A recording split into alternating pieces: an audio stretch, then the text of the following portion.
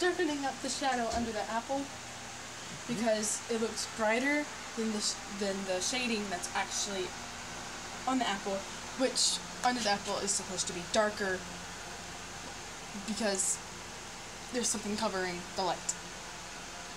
Um, and so I'm basically just taking some paint and making the shadow darker. And then after that, I'm going to go up here and I'm going to fix this part of the apple to make it look more crisp. Okay, sounds like a good plan.